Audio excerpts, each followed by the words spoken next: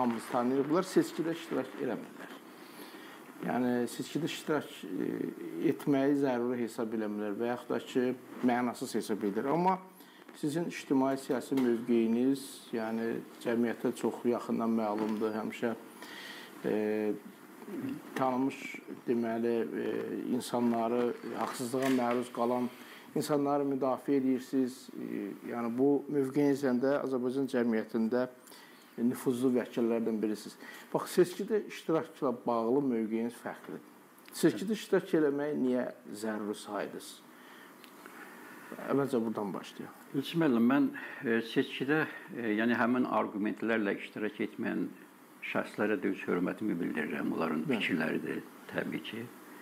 Amma mənim hesab edirəm ki, seçkilərdə iştirak etmək də olar və e, seçkidə iştirak etmək kampaniyasında müəyyən təbliğat vasitələrindən istifadə edib zəruri problemləri, ağrılı problemləri cəmiyyətin gündəminə gətirmək olar. Də. Və ümumiyyətlə parlament qanunverici orqandır İndi siz də bilirsiniz ki, yəni parlamentimizin elə bir böyük səlahiyyəti də yoxdur. Yəni konstitusiya ilə hökumətə nəzarət etmə səlahiyyəti yoxdur. Yoxdur. Konstitusiya ilə yoxdur. Yəni əslində faktiki yoxdur da konstitusiyon sisteminə parlamentarizm ənənəsi həm müasir anlamda, həm klassik anlamda mövcud deyil. Çünki indiyə qədər hələ parlament hansısa hökuməti, hökumət üzvünü istefaya göndərməyib. Hərçənd e, də, yəni hökumətin də sosial-iqtisadi vəziyyəti, e, sosial-iqtisadi vəziyyət sahəsində gördüyü siyasət məlumdur. Yəni ölkədə doğrudan da sosial-iqtisadi vəziyyət çox ağırdır. Amma zaman-zaman bu məsələlər müzakirə olub, deputatlar çıxışlar eləyiblər, tənqid ediblər, amma hər hansı bir naziri istefa göndərmək mümkün olmayıb. Çünki e, siz bilirsiniz ki, bizdə siyasi sistemdə e, deməli e, proporsional sistem yoxdur e, və parlament majoritar seçki sistemi əsasında formalaşır. Fraksiyalar yoxdur və nəticədə də yəni parlamentdə hökumətin fəaliyyətinə nəzarət mexanizmi yoxdur. Və problem ondadır. Amma bütün bunlara baxmayaraq təbii ki, bu problemləri bütün kəskinliyi ilə e, gündəmə gətirmək lazımdır. Yəni əslində e, ölkədə e, fundamental konstitusion islahatlar getməlidir, fundamental. Hı. Yəni həm o baxımdan ki, e, kan, e, parlament e, qanunverici orqan kimi həm qanunları qəbul etməlidir. Birinci onun funksiyası ondan ibarətdir. İkincisi hökuməti formalaşdırmalıdır. Hökumətin fəaliyyətinə nəzarət etməlidir. Büdcəyə təsvir e, büdcəni formalaşdırmalıdır. Büdcə e, deməli nəzarət etməlidir. Ondan sonra beynəlxalq müqavilələri təsdiq etməlidir. Yəni geniş funksiyaları var. O funksiyaları uğrunda əgər fəaliyyət müəssər olsa, təbii ki, ölkənin sosial-iqtisadi vəziyyətində də ciddi irəliləyişlərə nail olmaq olar. Yəni bununla bağlıdır. Qaldı ki, mən nə üçün deputat kimi namizədliyimi irəli sürmüşəm. Bu e, məsələni daha konkret danışmaq istəyirəm. E, İlçin müəllim, mən uzun e, müddətdir ki, vəkil fəaliyyəti ilə məşğul oluram və hesab edirəm ki, e, vəkil və peşə fəaliyyətimlə bağlıdır bu. Zaman-zaman mən e, yəni mütərəqqi insanları, işıqlı insanları e, müdafiə etmişəm, indi də müdafiə edirəm. Və bu proseslərdə təbii ki, e, günahsız insanlar, e, yəni ədalətsiz hökmlər görmüşəm, günahsız insanlar barəsində ədalətsiz hökmlər görmüşəm, ədalətsiz qanunsuz həbslər görmüşəm. Və onların talihlərini yaşamışam. Ümumiyyətlə nə gəldiyim qəti nəticə bundan ibarətdir. Yəni e, e, bu hamı tərəfindən etiraf olunan bir həqiqətdir ki, ədalətsiz və qanunsuz hökmlər olmamalıdır. Ədalətsiz və qanunsuz məhkəmə qərarları olmamalıdır. İstəyirəm fəqət mən bu mikrofon xışıltı verir. Onu bir də köynəyə taxa bilərsiniz onu zəhmət olmasa. Hə, oradan çıxardın, hə, köynəyə taxın. Əla, əla, davam edin. Hə, buyurun. Bunun yolu isə parlamentdən keçir. Hələ qədim Roma hüququnda deyilirdi ki, ədalətsiz qanun qanun deyil. Ədalətsiz qanun qanun deyil. Yəni qanunlar ölkənin inkişafını da təmin edə bilər. Ölkənin inkişafını ləngidə də bilər. İnsanları zənginləşdirə də bilər ölkə vətəndaşlarını və onların həyatında problemlər yarada da bilər. Bu baxımdan e, elə həqiqətlər var, bunlar əbədi həqiqətlərdir. Məsələn, bir e, misal sizə deyim ki, e, dünyanın böyük mütəfəkkiri Platonun belə bir ifadəsi var.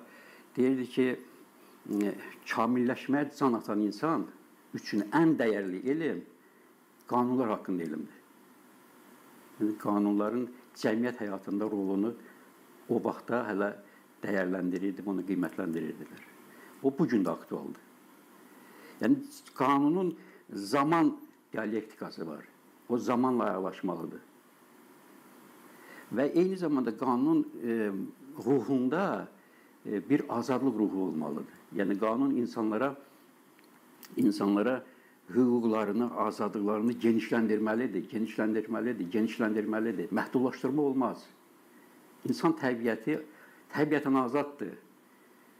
Nə üçün Amerika Birləşmiş Ştatlarının istiqlal bəyannaməsi siyasi elmdə kəşf hesab olunur? Kəşf hesab olunur. Çünki onlar e, o əsərin müəllifi Thomas Jefferson yazırdı ki, deməli Tanrı insana yaradarkən ayrılmaz hüquqlar bəxş edib. Yaşamaq, azadlıq, xoşbəxtliyə can atmaq. O bu hüquqlar var. Ona görə Amerika bu hüquqları verdi.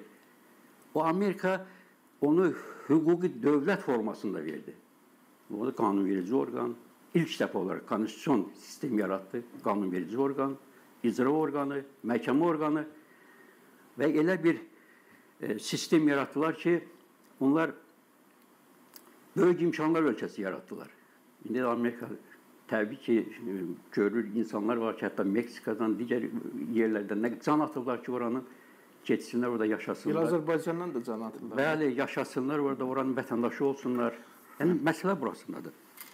Ona görə hesab edirik ki, e, bu yol, yəni konstitusiyon yolla, parlament yolu ilə qanunları təkmilləşdirməklə çox şey nail olmaq olar. Və hətta parlamentin səlahiyyətlərini genişləndirməklə ona yəni o e, yenə təkrar edirəm, həm klassik, həm də müasir anlamda onun rolunu və funksiyasını verməklə çox şeyə nail olmaq olar. Mənim yəni hesab edirəm ki, e, bu e, e, parlamentdə əgər mənə müəssər olsa, seçicilər bizə ehtimal göstərsələr, e, parlamentə deyəsi sözlərim var. Bu birincidir. Bəli. Təbii ki, indi tək bu deyil. İkinci bizim vətəndaşlıq mövqeyi ilə bağlıdır. Elçi müəllim, hər kəs özü övladı üçün, dostları üçün, qohumları üçün, bütün xalqı üçün ədalətli cəmiyyət istəyir. Ədalətli cəmiyyət istəyir. Deyirlər, bir dəfə bir alimin yanına gəlir, e, insan deyir ki, mən istəyirəm ki, övladım ədalətli olsun. O baxır buna deyir ki, əgər ədalətli ölkədə doğulsa, yaşasa, o kifayətdir. O kifayətdir. Bir neçə il bundan əvvəl e, bir həmyerlimizlə mən e, tanış oldum. O İsveçin vətəndaşlığını almışdı və çox sevinirdi. Çox sevinirdi. Mən ondan e, biraz ətraflı soruşdum. Bu sevinç nə ilə bağlıdır? Yəni mən bilirdim, amma bunun özündən eşitmək istəyirdim. O mənə dedi ki, e, İsveçdə, o cümlədən Skandinav ölkələrində e, bir vətəndaşlıq almaq xoşbəxt olmaq deməkdir. Yəni dövlət məmurları insana xidmət edir. Vicdanla xidmət edir. Dövlət sistemi ümumiyyətlə insan yönümlüdür. Və dövlət sistemi, yəni sosial dövlətdir də. Hə. Dövlət sistemi insana doğulandan dünyadan köçənə qədər daimi qayğını əhatə edir. Əgər işləmək istəyirsən, təbii ki, iş qabiliyyətin var, işləmək istəyirsən, iş problemi yoxdur. İşləyirsənsə əmək haqqı problemi yoxdur. Çünki əmək haqqı yüksəkdir. Pensiya çıxırsansa, pensiya problemi yoxdur. Yüksək pensiya alırsan. Xəstələnirsənsə, müalicə ehtiyacın var. Səhiyyə problemi yoxdur. Təhsil almaq istəyirsən, hətta e, deməli ali təhsildən başqa orada fasiləsiz təhsil sistemi var. Dövlət onu təmin edir bütün imkanlardan maksimum istifadə edir ki, insan xoşbəxt olsun. Ona görə də e, bütün o hansı ki ölkələr axın gedir, indi orada miqrasiya böhranı yaranır da, yəni qəbul edə bilmirlər. O elə bir səviyyə çatıb ki, o e, inkişaf etməyən ölkələrdən, o kasıb ölkələrdən axın dalalar gedir. Orada da böyük miqrasiya böhranı gedir. İndi gətirək bizim e, vəziyyətə. İndi bunu deyir e, belə e, şirin yalanlardan azı həqiqətlər yaxşıdır da. İş problemi. Gedirsən, insanlar nə qədər gənclər iş tapa bilmir. Haradasa iş tapırlarsa əmək haqqı problemi var. Çünki normal əmək haqqı yoxdur. Əgər pensiya çıxırsansa, əgər yoxda çıxırsansa da bir məqam gəlir, vaxtında pensiya çıxırsansa, normal pensiya yoxdur. Ümumiyyətlə daha pensiya da yoxdur, müavinət var. Hətta pensiyadır. pensiya Yaşa görə müavinət verilir. Bəli. Əgər iş qurmaq istəyirsənsə, o da problemdir. Mühit yox. Gömrük problemi, kreditlər əl çatan deyil, o da mümkün deyil.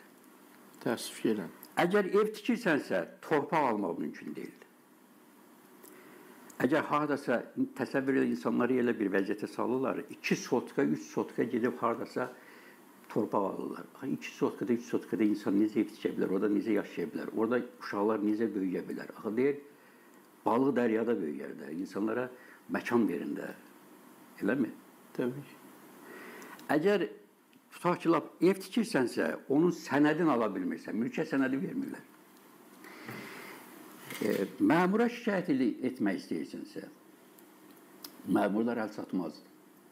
Demək olar ki, vətəndaşları qəbul eləmirlər. Hətta elə faktlar var ki, tutaq ki, vətəndaş hansısa bir nazirin qəbuluna yazılmaq, düşmək, öz şikayətini bildirmək istəyir. O gedir səyyar hansı hansısa rayonda nazir qəbul keçir, orada müraciət edir. Bakıda onu qəbul etmək mümkün olmur. Bəzən hətta belə faktlar var. Şikayət eləyirsən, şikayətə o şikayət etdiyi məmura qaytarırlar. İndi deyərsən ki, məhkəmə Məhkəməyə müraciət edirsən, məhkəmə əl çatmazdır. Nə üçün? Adi bir fakt deyim. Yəni bu inzibati məhkəmələr yaratdılar da bölgələr üzrə.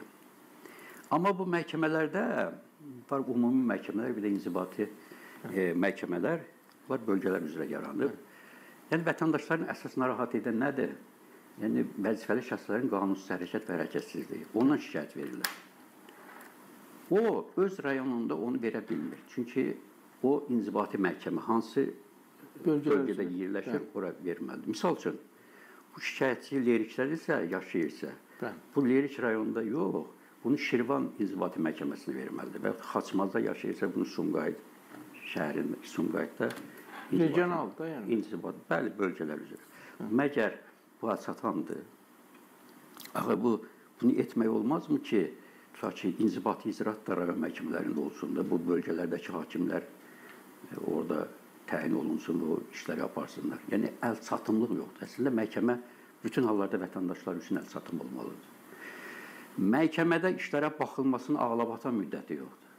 Elə işlər olur ki, illərlə, 2 illə, 3 illə, 4 illə, 5 illə sürünür, gedir. Yəni problemdir. Lab belə məhkəmələrdə hesab eləyir ki, qərar qəbul olundu. Onun icra edilməsi mexanizmində problemlər var. Təsəvvür eləyin ki, Elçi müəllim, e, məhkəmə icraçısında 4000, 4000, 3000 icra işləri var. Məhkəmə icraçısının maaşı nə qədərdir? 600-700 manatdır.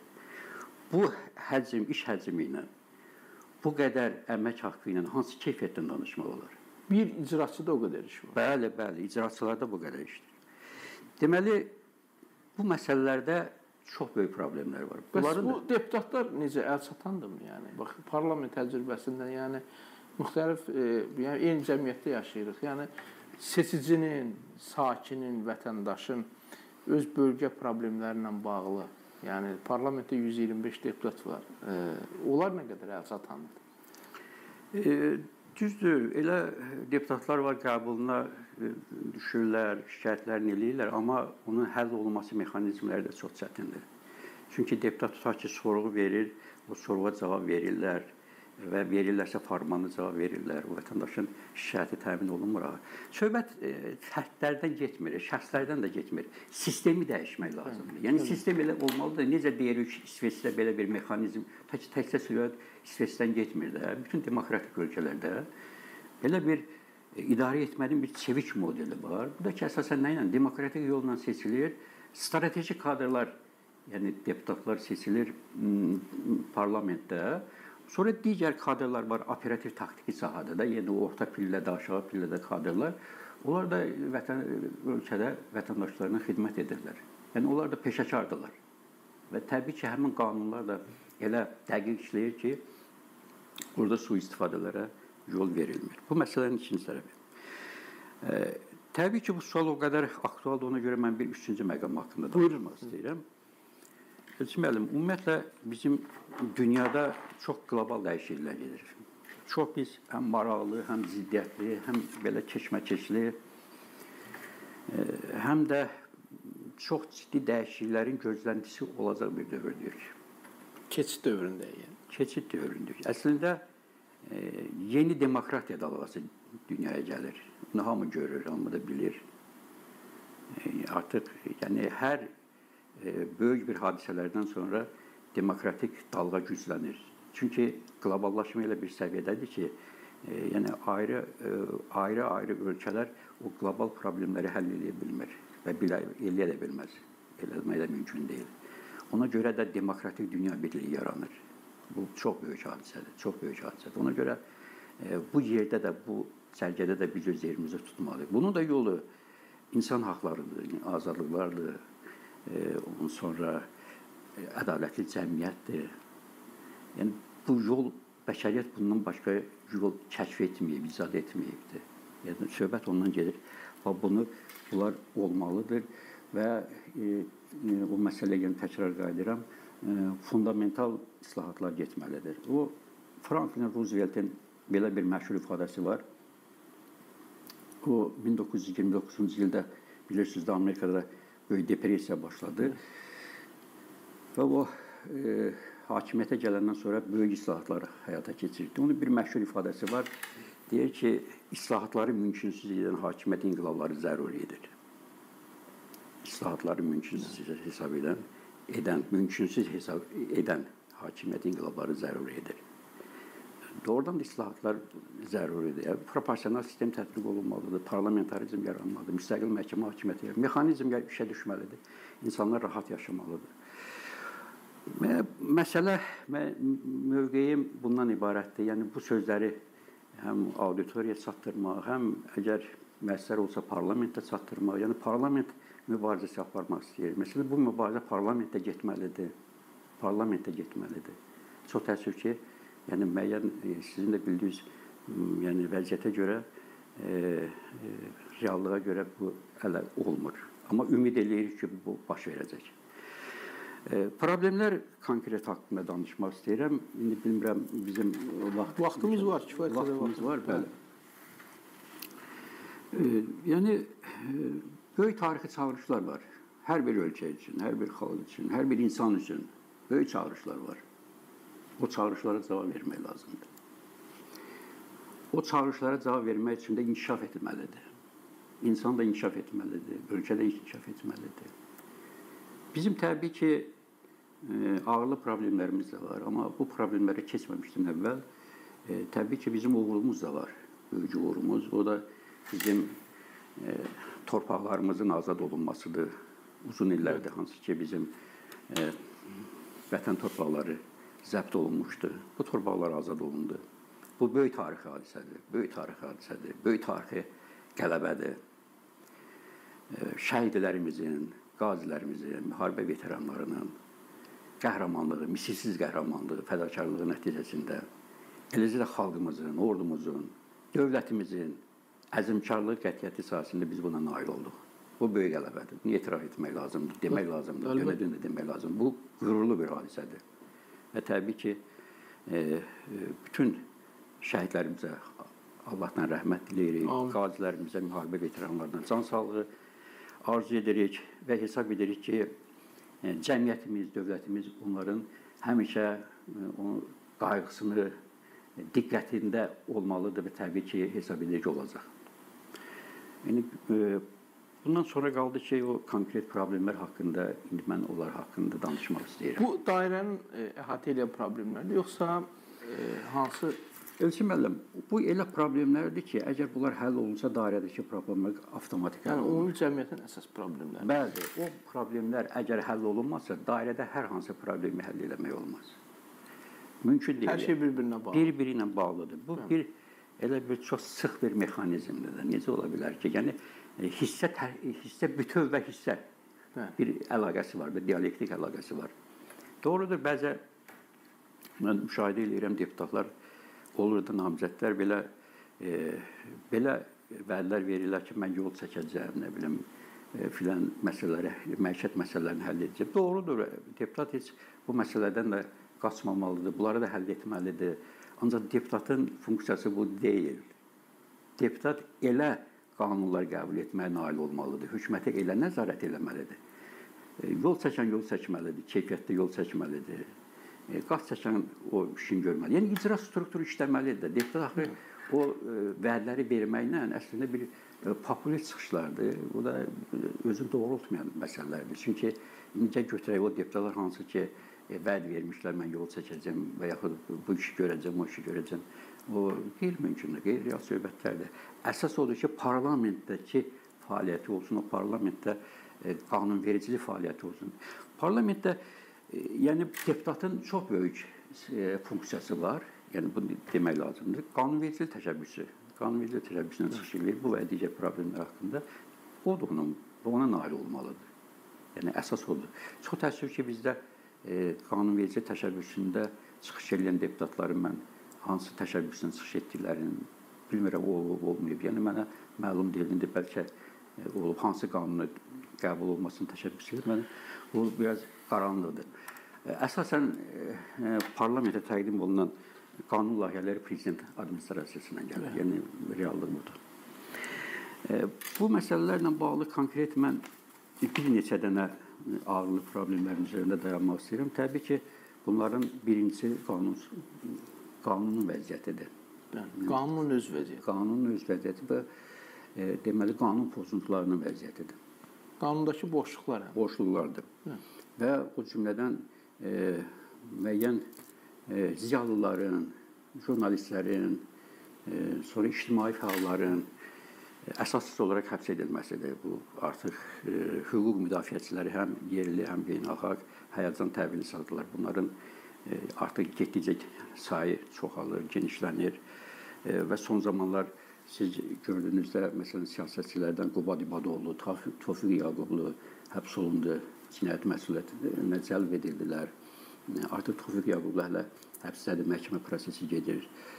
E, Jurnalistlər Əvəz Zeynallı, Əziz Orucov, e, Əvəz Zeynallı bilirsiniz ki, o e, məşhur bir kanalın e, Xural TV-nin rəhbəri. rəhbəri idi. Əziz Bizim həmkarımız. e, 13 13-cü kanalın rəhbəri idi. Elnur Şükürov. bizim həmkarlar. Bəli, Elnur Şükürov. Cavan jurnalistlər Ülvi Həsənli, Sevinç Vaqif qızı, Elnara Qasımova, Nərgiz Avasalamova, Hafiz Babalı, sonra Toplum e, Forumundan Akif Qurbanov, Ələsgər Məmmədli, e, Ruslan İzzətli, Müşfiq Cabbarlı, Əli Zeynalov, İlkin Əmrahov, e, Ramiz Babayev, seçki monitorunun rəhbəri Anar Məmmədli, AXC fəalları Elnur Həsənov, Mehman Əliyev, təbii ki, indi mən onların hamısını sadalamaq, e, yəni o çoxdur, müəyyən məsələlərdir, hamısını çatdırmaq olmur.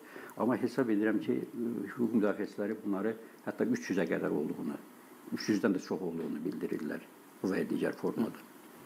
Hə, bu məsələlər, bu insanlar ə, Azərbaycanın işıqlı insanlarıdır, gənclərdir, ə, intellektual təbəqənin nümayəndələridir, ə, vətənpərvər insanlardır. Yəni bu insanlara qarşı ə, ittihamlar irəli sürülür. e, məsələn jurnalistlərə qarşı ittiham irəli sürülür. E, bunlar qaçaqmalçılıq ittihamı ilə və yaxud e, din, dindarlara e, ittiham irəli sürülür. Narkotik satışı ilə məşğul olma, yəni bu ittihamlar irəli sürülür. Cinayət Məcəlləsinin 234-cü maddəsi. Bu məsələlər ictimaiyyətdə də təbii ki bir mənalı qarşılanmır. Bu qanundakı boşluqları qeyd elədiniz əvvəlcə. Yəni bu ithamların o qanundakı boşluqlardan e, yəni ə, ə, əlaqəsi varmı? Yəni bax tutaq ki, bu ithamların irəli sürülməsində ə, tutaq qanunların ə, tətbiqində hansı bir problemlər var yəni. İndi o da mən qaydaram. Yəni o da bir çox geniş bir mövzudur. Və ikinci Avropa məhkəməsində şikayətlər getdikcə çoxalır. Yəni, bu da çox maraqlı. Çox maraqlıdır, bəli. Və ə, Avropa məhkəməsinin son vaxtlar qəbul etdiyi qərarlar hüquq müdafiəçilərin dedikləri, yəni o məsələləri hansı ki, hesab hüquq müdafiəçiləri hesab edir bu əsassızdır. Onlar özləri də ittihamı qəbul etmirlər. Bu insanlar ittihamı qəbul etmir. Vəkilləri də hesab edir ki, bu ittihamlar əsassızdır, qanunsuzdur və onların mövqeyi ilə bağlıdır. E, və e, sonrakı proseslərdə Avropa məhkəməsi hüquq müdafiəçilərinin, o cümlədən vəkillərin mövqeyini, e, o cümlədən o şəxslərin mövqeyi hansı ki, onlar ittihamları rədd edirlər, təsdiq edir. Təsdiq Amma prezident yarada bilmir. De, bəli. Məsələ məsələ burasındadır ki, məsələn son vaxtlarda qəbul edilən qərarlar, məsələn, ilahiyyatçı Talih Bağızadə haqqında, sonra dindarlar e, e, Abbas Hüseynov, Əhsən Nuruzadə haqqında Avropa Məhkəməsinin qərarları e, qəbul olundu. Avropa Konvensiyasının e, xüsusilə 6-cı maddəsinin, sonra 5-ci maddəsinin, hətta digər maddələrində pozuntularını tanıyır. Və hətta bir məsələndə mən məqama diqqətə çatdırım ki, bəzi hallarda hökumət özü e, pozuntunu özü tanıyır etiraf edir, tanıyır, etiraf edir. Məsələn, barışıq təklif edir. Bəli, bəli, barışıq təklif edir. Hə. Məsələn, Məmməd İbrahim haqqında Azərbaycan Xalq Cəbhəsinin fəalı Məmməd İbrahim haqqında ittiham hökmü olmuşdu. O iş ali məhkəməyə qədər getmişdi, sonra göndərilmişdi Avropa məhkəməsinə. E, və Avropa məhkəməsi o işdə 6-cı 6 birinci maddəni pozuntusu tanıdı və hökumət onu e, deməli etiraf qəbul, qəbul etdi. Qəbul etdi. Hazırda o iş e, plenuma qayıtdı. Plenum o əvvəlki məhkəmə qərarlarını ləğv etdi və yenidən e, deməli indi apellyasiya məhkəməsində baxılır. Söhbət odur ki, düzdür, bu işlər görülür, axı insanın ömrü gedir, azadlığı gedir. Amma e, gözləmə o olmalıdırmı ki, Avropa məhkəməsi bu qərarları qəbul etsin? Avropa məhkəməsindən bağlı bir sual verim sizə. Yəni e, biz görürük ki, tutaq ki, 5 il, 10 il bundan əvvəlki e, şikayətlərlə bağlı Avropa məhkəməsi indilərdə qərar çıxardır, amma kompensasiya olduqca azdır və hökmün digər hissələrinin icrası ilə bağlı problemlər var. Məsələn, hökmü çıxardan hakimlər var ki, 500-dən çox hakim E, Avropa məhkəməsinə gedən şikayətlərlə bağlı zamanında, yəni bir neçə il ərzində hökmlər verib, amma hakimlərin cəzalandırılmasıdır, kompensasiyanın kəsilməsindən başqa, hansı ki, son vaxtlar kompensasiya məbləği də çox azalıb. Sonra digər orada o pozuntulara yol vermiş e, işlərlə bağlı o prezident hüququnun tətbiq olunmasıdır ki, digər işlərdə məsələn yerli məhkəmələr onu Avropa məhkəməsinin qərarını əsas götürüb tətbiq eləyə bilərlər, amma bu da tətbiq olunmur. Yəni bir sözlə Azərbaycan Avropa hüquq ailəsinin üzvü olsa da, Avropa məhkəməsinin o necə deyirlər, üstün qərarları ölkədə hüquqi hüquq və azadlıqlar məsələsində bir dəyər keyfiyyət dəyişikliyini gətirib çıxarda bilmir. Yenə həmin proses davam edir. Aşağıdan məhkəmələr imtina verə-verə gəlir. Tutaq ki, Avropa məhkəməsi sonradan tanıyır o hüquqları və heç nə də dəyişmir. Yəni Avropa məhkəməsi sonuncu instansiyadır. Onun verdiyi hökmlərlə ləğv olunur, kompensasiya kəsilir, yenə heç nə dəyişmir. Bəli, o o məsələ e, tamamilə düzgün deyirsiniz. O problem var. Yəni Avropa məhkəməsinin artıq qəbul etdiyi qərarlar öz e, yəni əsas götürülməlidir də. Yəni onlar e, sonrakı məhkəmə proseslərində və prezident işlərdə bunlar əsas götürülməlidir, rəhbər götürülməlidir. Çünki Avropa məhkəməsinin e, deməli konvensiya Avropa konvensiyası e, Avropa deməli konvensiyası e, Azərbaycanın e, qanunvericiliyinin tərkib hissəsidir. Bəli. Tərkib hissəsidir və ona görə də e, konvensiyanın müddəaları, o cümlədən prezident hüquqları rəhbər götürülməlidir. Çox təəssüf ki, bəli o məsələ e, düzgün vurğulayırsınız, o var. E, ikinci də artıq məsələn məhkəmə proseslərində belə qərarlar qəbul etmiş, o cümlədən e, istintaq orqanları, prokurorluq orqanları. Yəni bu təkcə məhkəmənin işi deyil, axı bu bütün bu mərhələlərdən keçir. Bunlar barəsində yəni tədbirlər görülmür. Açığı məsələn Tərtər hadisəsi ilə bağlı. Bəli. Bəli. Tərtər hadisəsi çox belə ağır bir cinayətdir, müthiş bir cinayətdir. Düz hələ araşdırma gedir. Amma həmin şəxslərin əksəriyyət hansı ki, bunlara hökm çıxarır və yaxud o e, qərarlar qəbul, həbs qərarları qəbul ediblər, sonra azadlıqdan məhrum etmə barədə hökmlər çıxardıblar və yaxud bu işə rəvac veriblər. Onlar barədə heç bir tədbir görülmür. Yəni faktiki yoxdur, biz görmürük onu. Elə bu da o sonrakı o qanunsuzluqların davam etməsinə şərait yaradır. Yəni bu həqiqətən var və mövcuddur. Sonra məsələn e, qəti imkan tədbirləri ilə bağlı olan, həbs qəti imkan tədbiri ilə bağlı. Əksər hallarda seçilir. Bəli. E, məsələn, həbs qəti imkan tədbiri e, ümumiyyətlə müstəsna müstəsna prosessual məcburiyyət tədbiridir. Yəni müstəsna hallarda bunu tətbiq edə bilərlər. Bilmir, amma məhkəmələr xüsusilə e, bu motivlərlə, qeyd etdiyimiz siyasi motivlərlə bağlı olan şəxslər barəsində həbs qəti imkan tədbiri seçirlər və bunu hətta sonra istintaq vəsadət verəndə həbsin uzadılmasını ona e, təmin edirlər bu avtomat. Bu Bu qeyri-siyasi işlərdə də yəni əksər hallarda məhkəmələr həbs qətimkan amma amma orada 9-a qədər qəti imkan tədbirinin digər növləri nəzərdə tutulub. Ümumiyyətlə azadlıqdan məhrum etmənin özündə də bu çox geniş mövzudur. Təbii ki, bir vaxt çərçivəsində bunu etmək mümkün deyil. E, mümkün e, olsa, şərait Bəli. olsa biz buna qayıdarıq. Məsələn, tutaq ki, qəti imkan tədbirinə bağlı bir dənə fakt deyim. E, Qəti imkan tədbiri, həbs qəti imkan tədbiri e, ittiham irəli sürülən şəxsin ümumiyyətlə həm səhhəti nəzərə alınmalıdır, şəxsiyyəti nəzərə alınmalıdır. O bizim tutaq ki, o xanım qızlar, o Sevinç xanımdır, Nərgiz xanımdır, e, e, Elmirə xanımdır. Elnarə Elnə, üzr istəyirəm, Elnarə xanımdır və bunlara e, həbs qəti imkan tədbirinin seçilməsi ümumiyyətlə qeyri yəni bir insani hərəkətdir. Bunu belə demək olar. Və yaxud birinci qrup əlil, Famil Xəlil haqqında birinci qrup əlildir, onun barəsində həbs qəti imkan tədbiri seçilir. Bu yol verilməzdir axı. Yəni demək istəyirəm, başqa bir məsələ də, ağırlı bir məsələlərdən də biri ondan ibarətdir ki, bizdə ümumiyyətlə hüquq mühafizə orqanlarının sistemində, strukturunda da çox böyük problemlər, hədsiz də problemlər var. Hədsiz dərəcədə şey şişirdilmiş bir mexanizm var. Şişirdilmiş bir mexanizmdir. Məsələn, ümumiyyətlə istintaq təcrübəsi, dünyadakı istintaq təcrübəsi göstərir ki, vahid istintaq orqanı olmalıdır. Vahid istintaq. Amma bizdə görün nə qədər istintaq orqanı var. Prokurorluğun istintaq idarəsi, Daxili İşlər Nazirliyinin istintaq idarəsi, sonra Dövlət Təhlükəsizlik Xidmətinin istintaq idarəsi, gömrüyün içində. Ədliyyə Nazirliyinin istintaq idarəsi, Gömrük Nazirliyinin istintaq idarəsi, Dövlət Vergilər Xidmətinin istintaq idarəsi, Sərhəd Xidmətinin istintaq idarəsi. Məgər bu qədər istintaq idarələri olarmı?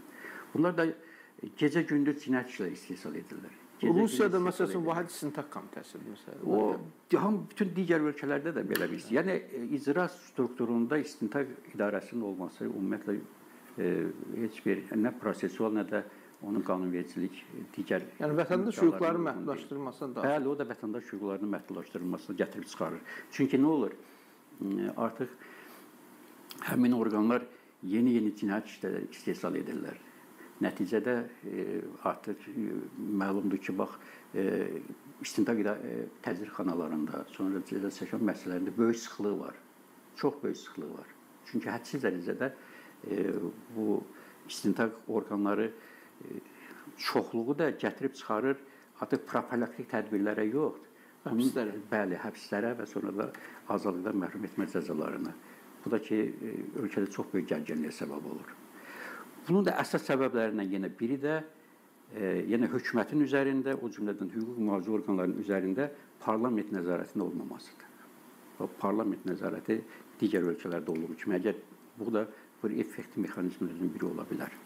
Dedim bu mövzularla bağlı bunu demək istəyirdim. Sonra ikinci məsələ ikinci məsələ sosial ədalətsizlikdir. Məsələn, bunun birincisi əmək haqqları çox aşağıdır. Pensiyaları çox aşağıdır. Müavinətlər də çox aşağıdır. Bu da həm iqtisadi artımı ləngidir, yəni iqtisadi artımı demək olar. E, qarşısını alır. İkinci də insanları kasıblaşdırır. Və o da vətəndaş hüquqlarına qarşı. Bəli, o da vətəndaş. Yəni konstitusiya nəzərdə tutur ki, bir mənalı yazıb ki, insanların layiqli həyat şəraitini təmin Bəli. etməlidir. Ləyaqətli həyat şəraitini yaşam təmin etmək. Ləyaqətli həyat şəraitini təmin etməlidir. İkincisi, ikinci məsələ əmək haqqlarındakı kəskin fərqlərdir. Misal üçün mən bir, bir fakt deyim.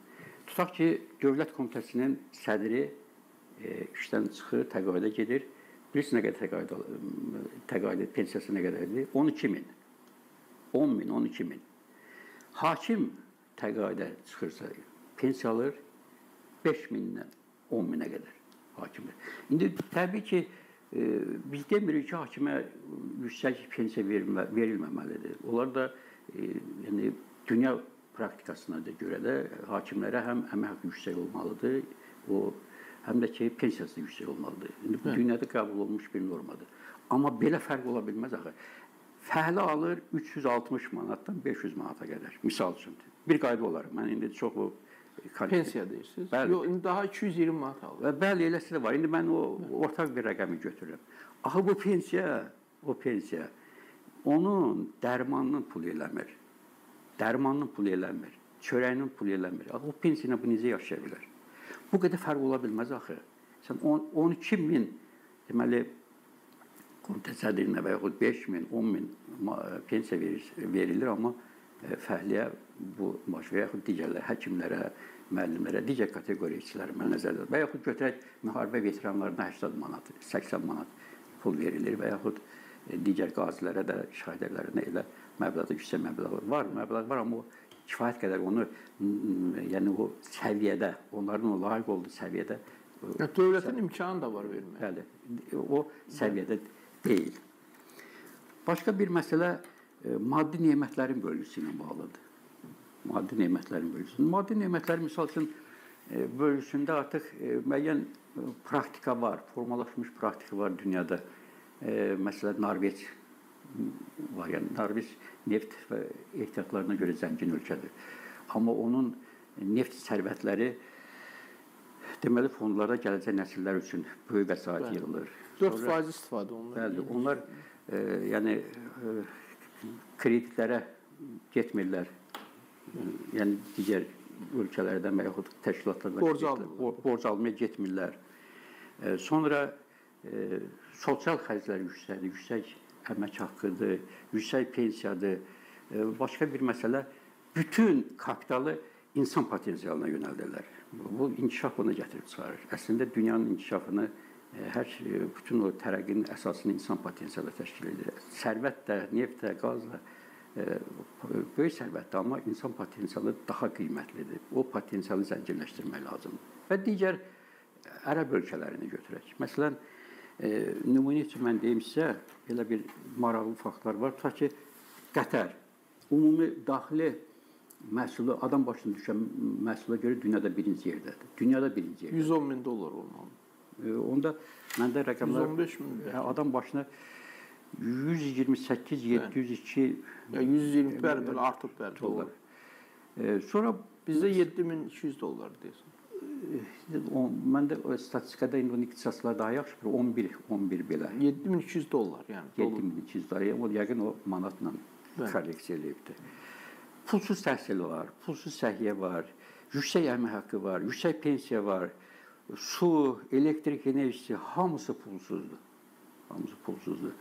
E, suveren fond yaradıblar. Yəni burada Qətərdə suveren fond var. Bu suveren fondun vəsaiti xarici kompaniyalarda, xarici kompaniyalara və xa- xarici daşınmaz əmlaka verilir. Oradan nəhəng pul axını qayıdır Qətərə. O çox böyük sosial rifah dövləti yaradır. İndi o yəni sosial rifahın modelləri var, amma məsələn e, bu Yəni demokratiya olmadan da sosial rifah yaratmağa nail olublar. sosial rifah yaratmaq olar. Bəli. Məsələn, o e, rəqəmlər məsələn Küveytdə də var. İndi təbii ki, siz bunları bilirlər, amma maraqlı maraqlı faktlardır. Məsələn, təhsil səhiyyə pulsuzdur. Əhali elektrik enerjisi, su və telefon haqqından azaddır. Bu ölkədə hər bir vətəndaş bankdan ev tikmək, evlənmək, sosial tələbatlarını ödəmək üçün faizsiz kredit götürə bilər. Bankdan götürülən pul üçün heç bir zəmanət tələb olunmur. Ölkədə hər bir vətəndaş ev tikmək üçün əvəzsiz olaraq 80 min dollar faizsiz, uzun müddətə isə 220 min dollar pul götürə bilər. 3500 dollardan aşağı maraqlıdır. Əmək haqqı yoxdur. Məsələn, Birləşmiş Ərəb Əmirliyində hər bir vətəndaş doğulduğu bu gündən ömrünün sonuna kimi dövlətin himayəsini hiss edir. Bu ölkədə işləmək istəyən hər bir vətəndaş yüksək əmək haqqı alır. Əmək haqqı isə 8000 dollardan artıqdır. Yəni bütün bu e, neft ölkələrində, qaz ölkələrində e, gələn gəlirlər ədalətli bölünür. Yəni o bölünməsinə səylər göstərilir və onlar sosial xərclər qaydasında, formasında e, vətəndaşlara qaytarılır. E, bizdə uzun illərdir uşaq pulu məsələsi söhbət olunur, uşaq pulu, uşaq pulu. Bir dənə bu məsələni həll etmək mümkün olmur. Nə qədər nə qədər bu yəni vəsaitdir ki, bunu hansı ki neft və qaz ölkəsi kimi biz tanınırıq, bunu həll etmək mümkün olmaz. Yəni bunu başa düşmək olmur.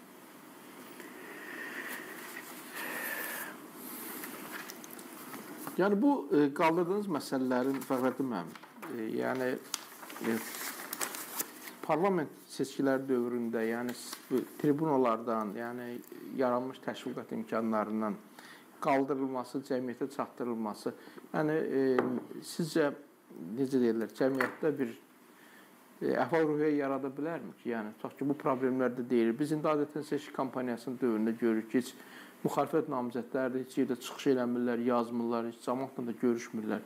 Çox maraqlıdır. Mən YAP namizədlərini görürəm, yəni düzdür, e, dövlət qurumları təşkil edir onların görüşlərini qapalı zallarda falan. Amma bu müxalifətdən olub seçkiyə qoşulan namizədlər ümumiyyətlə seçki ilə məşğul olmurlar. Yəni çox maraqlıdır. Bu birinci dəfədir ki, mən belə kontrast görürəm ki, həmişə fəallığı müxalifət yaradırdı. Hökumət onun arxasınca gedirdi.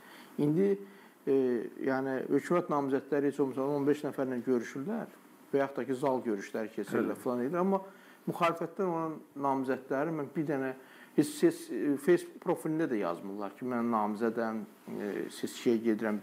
Bir 2-3 nəfər çıxmaq şərtilə. Yəni bu belə baxımdan, yəni sizin qaldırdığınız məsələlər ölkənin fundamental problemlərini Hı. əhatə edir. Yəni vətəndaşların sosial, siyasi, e, digər məhkəmə hüququnu, yəni əhatə edir. Yəni e, hesab edirsinizmi ki, yəni bir millət vəkilinin olması, bir millət vəkilinin ifadəsində parlamentdə tutaq ki, bu məsələlərin qaldırılması, səslənməsi cəmiyyət üçün bir e, effektivdir. Elçi müəllim, ümumiyyətlə əgər bir haqsızlıq varsa, ədalətsizlik varsa, e, deyəsən e, bu zərdüştlükdən gəlir belə bir şey. Deyir, xeyir fikir, xeyir söz, xeyir əməl. Əvvəl bir insan onu düşünməlidir, yəni etiraz eləməlidir. Daxilən etiraz eləməlidir. Sonra sözlə etiraz eləməlidir. Heç olmasa əməllə də olmasa, əməllə də etiraz eləməlidir. Hesab edirəm ki, buna etiraz etmək lazımdır, demək lazımdır. İndi bir nəfərdir, iki nəfərdir. Bir nəfər olar, sonra iki nəfər olar, iki nəfər olar. Kəmiyyət dəyişikliyi, keyfiyyət dəyişikliyinə keçər. Olmaz axı hər şeyə belə bicana qalasan. Bu olmaz, o olmaz. E, məsələ burasındadır. Bir yenə də ifadə deyim, bir maraqlıdır. Deyir ki, e, bicanəli haqqında yazı danışırlar. Bir nəfər onu belə ifadə edir. E, deyir ki, dostlardan qorxma. Onlar ən pis halda sənə sata bilərlər. Hə. Düşməndən də qorxma. Onlar ən pis halda səni öldürə bilərlər. Sən qorx biganələrdən. Bütün bəşəri cinayətlər biganəlik nəticəsində yaranır. İnsan biganə olmamalıdır. Bir nəfərdir, bir nəfər desin. İki nəfər gücü çatır, iki nəfər desin. Üç nəfər mümkündür, üç nəfər desin. Bunu demək lazımdır axı. Bu insan öz haqlarını deməlidir axı. O baxımdan mən yəni o arqumentlə yəni razı deyiləm ki, yəni bir nəfər olacaq, bu nəyi dəyişəcək.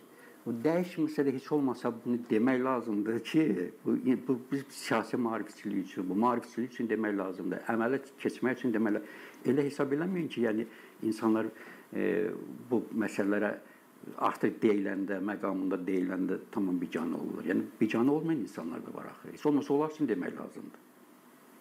Yox, bizim cəmiyyətdə belə bir tendensiya var ki, yəni müşahidə var ki, yəni insanlar özlərini hər şeydən xəbərdar olduqlarını bildirirlər. Deyəndə, yəni hansısa bir məsələ onları təəccübləndirmir. Hətta belə ən belə başqa ölkələrdə ən belə belə e, cəmiyyəti tərpədə biləcək bir hadisə baş verəndə qalmaqal e, olanda, yəni siyasi e, si- sistemdə və digər. Yəni Azərbaycanda heç bir reaksiya doğurmur. Yəni ümumiyyətlə son illərdə Azərbaycanda reaksiya doğuran hadisələr ailə məişət mövzusunda baş verən cinayətlərdir. Yəni bu xarakterli məişət tipli hadisələrdir. Tutaq ki, Ağadadaş kiməsə balta atırdı. Kimsə ailə üzvlərinin biri 5 nəfər ailə üzvünü öldürmüşdü. Azərbaycanda çox böyük bir rezonansa səbəb olmuş. Yəni amma e, tutaq ki, hansısa məmurun böyük bir korrupsiya qalmaqalı insanları belə necə deyirlər, tərpətmir. Biz e, ictimai müzakirələrdə, sosial şəbəkələrdəki müzakirələrdə belə Hə. o cür hadisələrin ətrafında bir geniş diskussiya görmürük. İnsanlar daha çox fərdi, daha çox bir-birinin e, necə deyirlər, problemini e, müzakirə, məişət problemlərinin müzakirəsinə köklənir. Sanki cəmiyyət o böyük sizin burada haqqında danışdığınız sosial hüquqlardır, siyasi hüquqlardır, sonra hüquq mühafizə orqanları ilə, məhkəmə sistemi ilə bağlı problemlərdir. Bunları müzakirə etmək istəmirlər. Bax bu çox əlbəttə ki, mənfi bir tendensiyadır. Yəni o biganəlik dediyinizi biz cəmiyyətin bax bu məsələlərə münasibətində görürük. Bax bu nədən xəbər verir sizə? Doğrusu e, mən o həm fikirlə həm razıyam, həm də tam razı deyiləm. Yəni insanlar tamamilə bu məsələlərə demək olmaz ki, biganədirlər. Yəni bu proses gedir, var. Amma təbii ki, bizim arzuladığımız səviyyədə deyil. Yəni o müəyyən e, mərhələyə çatmalıdır ki, o keyfiyyət dəyişikliyi baş versin. O mərhələyə çatmır. Bu var, bu məsələlər var. E, Amma hər halda bunları axı yenə təkrar edirəm. Biz bu elə bir dövrdə yaşayırıq, buna bir cana qalmaq olmaz axı.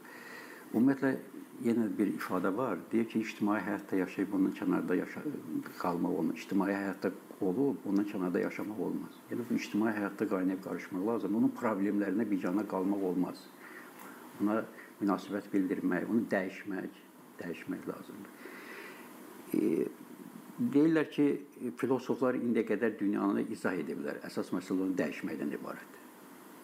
Biz çox şeyi biz sözçülüyə bağlayırıq. Danışırıq, danışırıq, danışırıq. Əməl mərhələsində bizdə problem olur. Yəni onu əmələ çevirməkdə problem olur.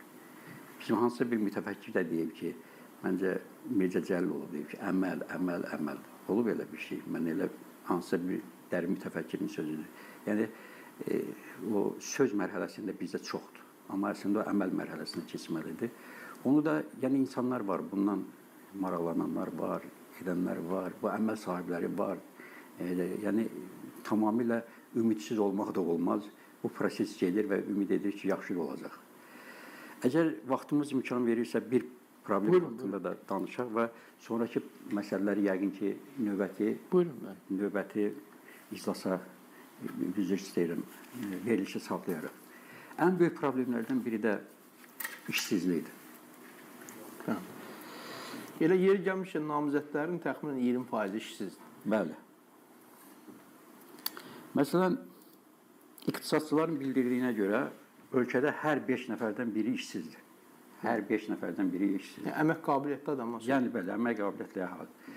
Bu da əmək qabiliyyətli əhalinin 20%-idir. Bunu iqtisadi rəqəmlər belə verirlər.